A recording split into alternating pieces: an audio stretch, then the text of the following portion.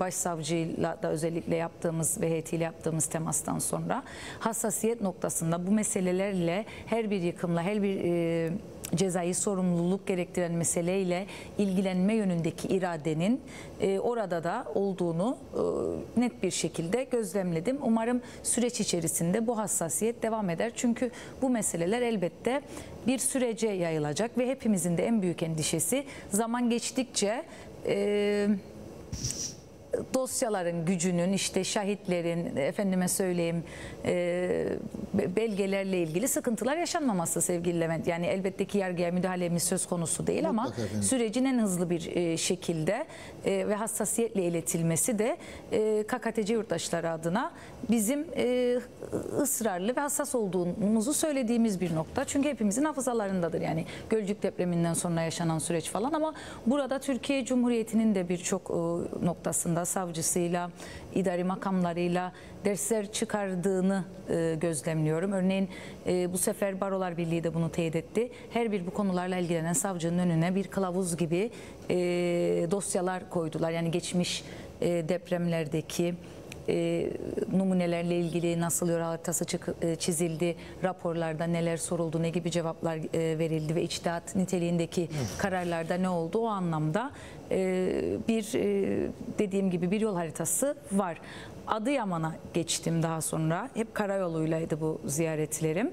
E, Adıyaman'da geçmişte orada da yapmıştık benzeri ziyaretleri. İlk önce e, İSİAS Otel'e gittim. Saray Otel'e gittiğim gibi İSİAS Otel'in önünde e, karanfil bıraktık sembolik olarak. Çünkü artık oralar bizim için aslında e, o yani bir, bir me- me- mezarlık gibi yani o, o- oralarla ilgili e, üzücü hissiyatımız hepimizin malum. Orada baş orada barolar e, birliği yani baro başkanıyla da görüştüm. Daha detaylı bilgi alabildim hukuki süreçle ilgili olarak. Başsavcıyla da daha det- e, detaylı bilgi alabildim. E, Adıyaman'da 8200 vefat var resmi e, kayıtlar bunu gösteriyor. Ve 4000'e yakın soruşturma dosyası var. Ölümlü her bir bina için her bir parsel için bir dosya e, açıldı. Ve bu da ve bu çok ciddi ağır bir yük ve ben birazcık Ah, endişelenmedim de değil yani. Çünkü savcı sayısı da artırılmadı örneğin. Ama sorduğumda sistematiği şöyle kurmuş Adıyaman. 5 tane Kürk kusur savcı var. 5 tane savcı sadece depremle alakalı e, soruşturma, iddianame ve yani depremle alakalı dosyalarla ilgilenecek. Yani bir e, komite kuruldu savcılığın içinde onların da ben- be- benzer e, dosyaları, hazırlık dosyaları ön- önlerinde. Ve e, İSİAS'ın özelinde de şöyle bir durum var. Geçtiğimiz dönem gittiğimizde bize verilen bilgi İstanbul Teknik Üniversitesi'nden bir rapor beklendiği ve bu raporun çıkmasıyla birlikte e, e, kısa bir süre içerisinde e, iddianamelerin hazırlanacağı yönündeydi. Bizim en azından algımız o yöndeydi. Meclis olarak da, aileler olarak da, ilgili avukatlar olarak da. E, Kısa bir süre önce İstanbul Teknik Üniversitesi'nden rapor geldi ve beklediğimizden çok daha dar kapsamlı bir rapor olduğunu gördük. Yani sorulan sorular açısından çok daha kapsamlıydı ve bu davalarda iddianamenin, İSİAS özelinde iddianamenin hazırlanması noktasında oradaki yeni atanmış e, Sayın Savcı da yeterli görmemiş ki Karadeniz Teknik Üniversitesi'nden de Ağustos ayı içerisinde yeni ve çok daha kapsamlı bir rapor istendi. Şu anda o raporun detayları e, bekleniyor. Karadeniz Teknik Üniversitesi de özellikle Van depremi ile alakalı bu noktada e, bilirkişi uzmanlık yani know-how noktasında tecrübesi olan e, önemli bir üniversitemiz. Evet. Bu çerçevede Karadeniz Teknik Üniversitesi'nden beklenen raporun gelmesiyle birlikte şüpheli listesinin artık daha bir netlik kazanacağı ve iddianamenin de akabindeki süreçte e, hazırlanıp e, yani adli sürecin başlayacağı yönünde bilgi aldık. E, şu bilgiyi de vereyim. Soru sormana da fırsat vermediğinin farkındayım ama bilgilendirme Yok, açısından vereyim. Yani ben şeyde sorgu yani sorguladım derken haddimize değil yani sorgulanmamanda değil bilgi almak adına şu soruyu da sordum ben orada yaptığım temaslarda. Yani savcı sayımız aynı. Adli e, meseleler de devam ediyor. Çünkü yağma var, hırsızlık var, kavga var. Yani günlük e, her toplumun hayatındaki e, adli meseleler de elbette ki bu bölgelerde de devam ediyor ama üstüne üstlük çok ciddi de bir yıkım var ve bunlarla ilgili çok teferruatlı soruşturmalar da yapılması lazım ve teknik raporlar geldikçe işte katü raporu gibi halka da genişleyecek gibi görünüyor Levent Bey. Yani e, idari anlamdaki sorumlular açısından da e, izin veren, denetleyen, denetlemeyen makamlar açısından da sadece e, binanın sahibi ya da müteahhiti değil ama o halka genişleyecek ve bu sadece İSİAS Otel ile değil, ilgili değil yıkılan e, birçok bina ile alakalı da e, benzer şekilde olacak. Şu bilgiyi aldım ağır ceza mahkemesi sayısı artırıldı. N- e, Normalde 2 olan ağır ceza mahkemesi sayısı 3'e yükseltildi. İdare mahkemesi e, birden 2'ye çıkarıldı ancak alınan kararda 4'e kadar bunun artırılması. Çünkü yarın öbür gün biliyorsun ve asliye mahkemeleri de tazminat davalar olacak. İdari sorumlulukla ilgili davalar olacak. E, işin doğallığında raporların çıkması ve ceza davalarının sonuçlanması ya da en azından bir yola girmesi bekleniyor ama ailelerin, yakınların idareyi de ayrıca bizdeki Yüksek İdare Mahkemesi gibi düşünün. İdarenin de hatası ihmali varsa bu davaları da açma hakları var ve açacaklar tazminat davaları açma hakları var açacaklar. Bu anlamda mahkeme sayısı her üç noktada da artırılmış ve art- e, daha da artırılması ile ilgili olarak da e, bir şey var. Yani orada e, bir opsiyonda tutuluyor. Yani bir miktar daha ama zaman alacak yani raporun gelmesi, iddianamelerin hazırlanması, yeni şüphelerin ortaya çıkması. Bir de şu izlenimim var. Yani e, duruşma süreci başladıktan sonra belki her gün arka arkaya duruşmalar devam edemez teknik e, nedenlerden dolayı ama başlayan meselelerin mümkün olan e, en hızlı şekilde neticelenmesiyle alakalı da e, bir e, hazırlık var. İzlenimim bu aşamada bu yönde. Ben burada durayım. Eğer başka bir konuda ya da bunlarla alakalı olarak detaylı e, bir bilgi vermemi istersen de elbette. Ee, şimdi tabii bu e, bizde yarattığı durum biz tabii şimdi Türkiye'de resmi rakamlara göre 50-60 bin kişi öldü. Biz burada o 30 35 çocuğumuzu kaybettik. Bu Toplamda da 49 KKTC Evet, yani e, elbette biz buradaki oradaki duruma göre kendimize ilgili ayrı bir hassasiyet gösteriyoruz herkes yani gerek aileler gerek biz. Biz yayın yaparken siz mecliste. E, bunun farkındayız. Şimdi tabii e, Türkiye'deki e, yani gerek siyaset gerekse e, adalet noktasında bu konuyla ilgili hassasiyetimizin iyi anlaşıldığını düşünüyorum ben. Ben de. Ama e, bunun devamıyla ilgili ya da bunun bundan yani yaptığınız izlenimler, bunun bundan sonraki süreçle ilgili örneğin mesela e, beklenirdi ki yıl bu yıl sonundan önce yargı süreci başlayacak, emareler toplanacak ve başlayacak. Bu konuyla ilgili edindiğiniz e, izlenmenizi ben çok merak ederim. E, Şimdi e, Hatay'la ilgili açıkçası yıl sonundan önce böyle bir sürecin başlayabileceğiyle ilgili ben e, çok böyle yani tabii ki bilemem. Yani birincisi Anladım. ben o, o sistemi de bilen bir hukukçu değilim. Yani hukuk sistemimiz olarak ceza hukuku olarak da e, soruşturmaların yürütülmesi olarak bizde polis yapar biliyorsun orada savcılar. Yani tamamen farklı hukuk sistemimiz. Evet. O yüzden yani e, söyleyeceğim izlenimimi kimse yani mesleki bir bilir kişilik üzerinden ya da siyasi biri şöyle de onun üzerinden anlamasın. Bu tamam tamamen bir miktar dıştan bakan biri olarak e, söylüyorum. Yani yıl sonuna kadar Hatay'ın daha o noktaya gelip gelemeyeceğinden emin değilim teferruatlı davalarla alakalı olarak. Çünkü yıkım çok büyük. Yani baktığınızda okullar yeni açılmıştı ben gittiğimde. Henüz daha okulların açılmasıyla birlikte öncesinde bayağı çalışma yapılmış belli ki ama okullar açılınca öngörülemeyen bir sürü başka da eksiklik çıktı. Evet. Yani bakar mısın bizde e, böyle bir doğal afet yaşamadık da okullar açıldı. Bizdeki eksikliklere, aksaklıklara bak. Yani yani günün sonunda e, maalesef e, bunlar yaşanıyor. İşte çocukların ulaşımıyla ilgili olarak e, ikametgahlarının kayıtlı olduğu yerle gittikleri okul aynı olmadığı için e, nitelikli liseden meslek lisesine gitmek zorunda kalan çocuklara kadar insani bir sürü ihtiyaç e, orada zaten devam ediyor. E, binalar yok, bina yok kamusal alan yani 300'den fazla konteyner kent var. evet. E, Dolayısıyla Hatay'la ilgili sürecin e, ben zamana yayılacağını, her alanda bir miktar e, görüyorum, hissediyorum. Öngörüm o yönde diyeyim. Haklı çıkarım çıkmam. Elbette ne kadar erken olursa ve herkesin de bu yönde ciddi bir e, irade ortaya koyduğundan da hiç şüphem yok. İktidarıyla muhalefetiyle e, bölgede birçok kesimden e, yetkiliyle bir araya geldim. Adıyaman'la ilgili olarak Adıyaman hem ölçek olarak e, daha küçük hem de e, sistematik biraz daha erken ve farklı oturtulmuş ve İSİAS'ın orada bir özelliği var.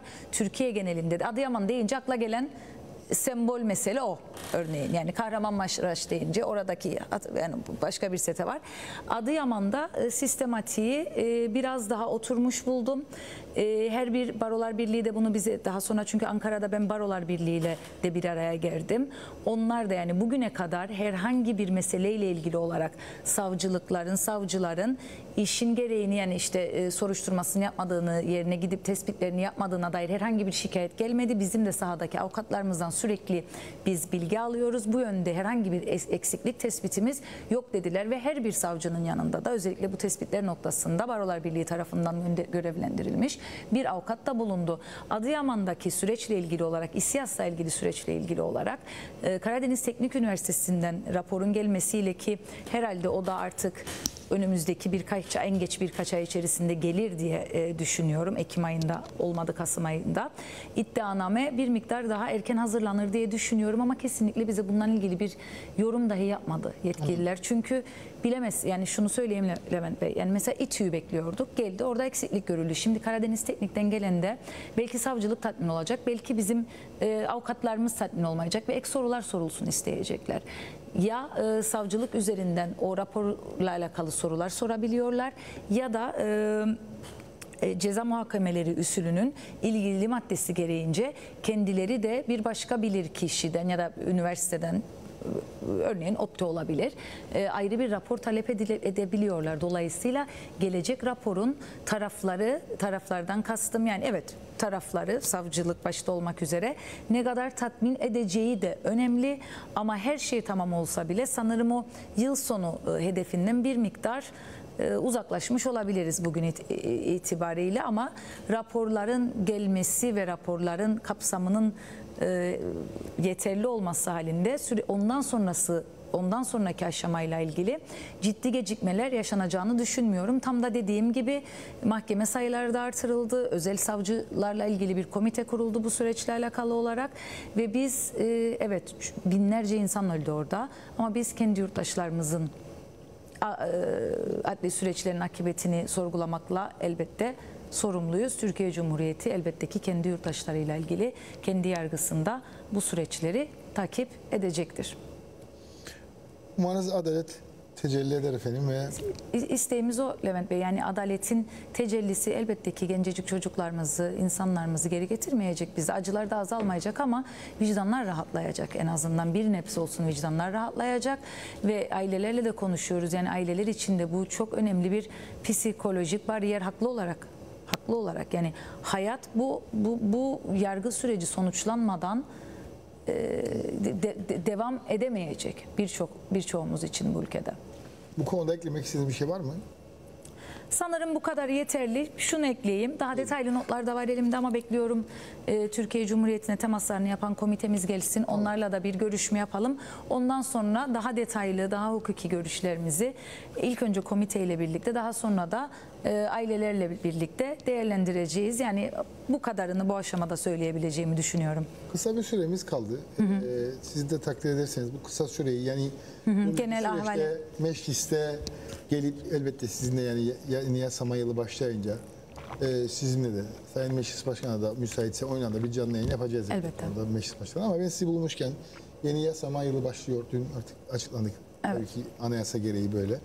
Ee, bu yani e, yeni yasama döneminden başkan, meclis, başkan vekili olarak beklentiniz, öneriniz, talebiniz ne olur efendim merak ederim. Şey, e, Yeni yasama döneminde yapılması gereken e, birçok e, dava var ama şu- dava demişim biraz önceki konuda kaldım. Yasa Yasamız var. var, yas- yasamız var. Komitemiz komitelerimizin bir kısmı yaz aylarında da verimli çalıştı onu da söyleyeyim. Yani Evet. özellikle idari komitenin geçirdiği yasalar var zaten toplandık biliyorsun bir kere e, olağanüstü. Orada geçenler de var. E, süreç başladığında geçecek olan yasalar da var. Özellikle idari komite ve hukuk e, komitesinin e, hazır ettiği, e, mutfağında çalıştığı yasalar var. Bu yeterli midir? Yeterli değildir. Daha birçok e, kritik yasanın da önümüzdeki dönemde gündeme alınması gerekiyor. Yani mecliste vekillerin e, performansı da bir yerde şu ana kadar ben yani önüne gelen işi yapıyor vekiller komitelerde. Ben o anlamda vekillerimizin performansını e, anlamlı ve yerinde buluyorum. Ancak tabii ki e, hayata dokunan daha yapılması gereken birçok işin yapılabilmesi için bunların da Bakanlar Kurulu'ndan yasa tasarısı olarak gelmesi lazım. Demek Evet. Yani o noktada eksiklikler, aksaklıklar e, ya- yaşanıyor. Yasama sonuçta önüne gelen e, yasaları görüşmekle e, mükellef. Ama tüm bu sıkıntıların e, yani eksikliklerin içerisinde bakıyoruz. İşte iki gün önce Sayın Başbakan biliyorsun bütün Ka- Bakanlar Kurulu oturdu ve işte önümüzdeki 5 artı 5 bir e, orta vadeli e, plan kalkınma Kalkınma planı planı. hazırlayacaklarını söylediler. E, Konuşuluyor mu şu anda? Halkın gündeminde mi? Değil. Yani bu bir iki gündür ben bugün de baktım gazete manşetlerine. İnandırıcı değil. Çünkü samimiyetten yoksun şu andaki hükümet yapısı.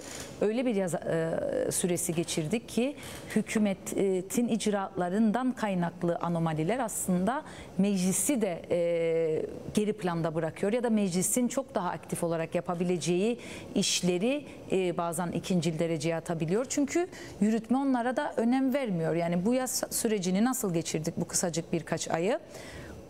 Hiç gündemimizde geçmiş yıllarda özellikle yokken aniden okul kitaplarındaki görseller yazarların biz bunu yazmadık dedikleri, dava edeceğiz dedikleri noktaya geldik.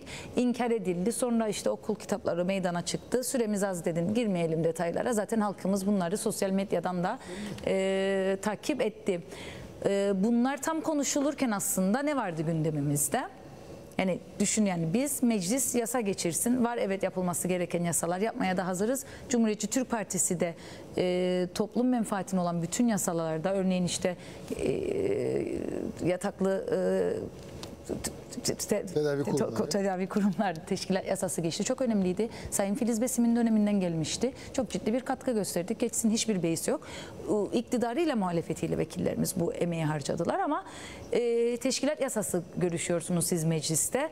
Kamu reformunun belki bir gün geleceğini görüşece- görüşülmesi gerektiğini söylüyorsunuz. Ne yapılıyor? Elektrik kurumuna gayri yasal, münhalsiz, kapı arkasından, bacadan pencereden artık bulunan herhangi bir aralıktan istihdamlar gerçekleşiyor ve bu sorgulandığında da yaptık yaparız yapmaya da devam edeceğiz gibi bir e, tavırla karşılaşıyorsunuz.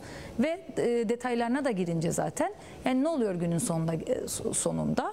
Orada çarpık yapı orada e, hala daha e, cebimizden her bir yurttaş olarak ödediğimiz ciddi rakamlar ama buna rağmen hızla batma batırılma noktasına gelen hiçbir şekilde kurumu idare etme kapasitesi becerisi olmayan bir yapıya hala daha dokunulmaması nedeniyle e, sürekli bir e, yok oluşa sürüklenen kurum var.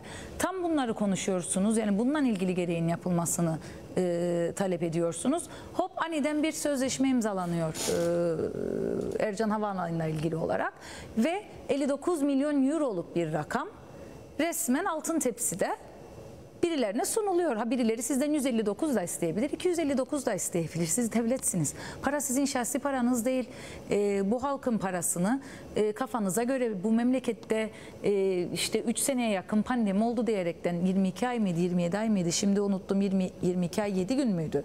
Ee, olmayan, hiç kimseye uygulanmayan e, hayali matematiksel hesaplarla e, büyük büyük rakamları e, aslında halkın cebinden alıp bir yerlere e, veriyorsunuz.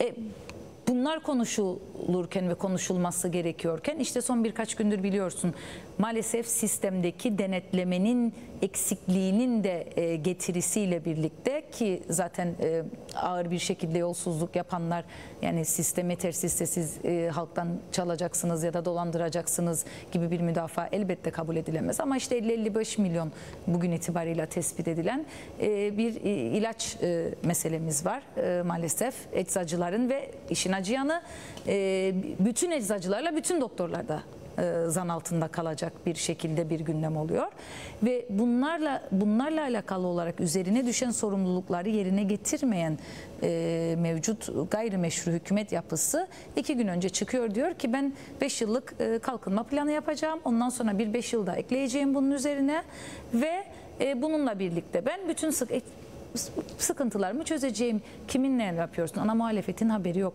E, kimi çağırdın? Nasıl yapacaksın? Nüfus projeksiyonun ne? Nüfus politikasıyla ilgili ortaya koyacağın ne? Tüm bunları yaparken okulların artan nüfusla açılmış. Artık inandırıcı görülmediği için konuşulması gereken e, normal şartlarda aslında olması yapılması gerekenleri mış gibi yaptıkları için de bunlar elbette gündem olmuyor. İyi ki de olmuyor çünkü günü geldiğinde bunu doğru düzgün yapacak yıllardır bu iddiayı ortaya koyan bir parti var zaten Cumhuriyetçi Türk Partisi. Ama e, geldiğimiz noktada önümüzdeki yasama yılına nasıl bakarım tekrar e, geri dönecek olursak bu hükümet yapısı e, halka çok ciddi bedeller ödemeye devam edecek. Ha yasamada vekillerimiz e, ilgili komitelerinde elbette ki e, önlerindeki yasalarla ilgili gerekli çalışmalar yapacaklar. AB e, vizyonundan uzun bir süre önce uzaklaştığı için mevcut yapı mesela AB oradaki ad hoc komitemiz sağlıklı bir şekilde zaten toplanamıyor da. Ama e, işte Maliye Komitemizde geçtiğimiz hafta içerisinde Ankara'daydı. Bu kara paranın aklanmasıyla ilgili um- umut ederim ki o yasayla ilgili bir nihayete varılır.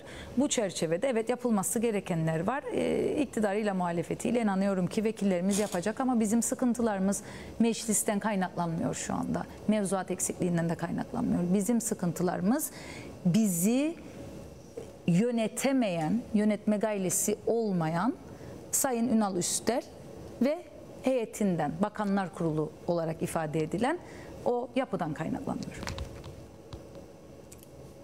Peki.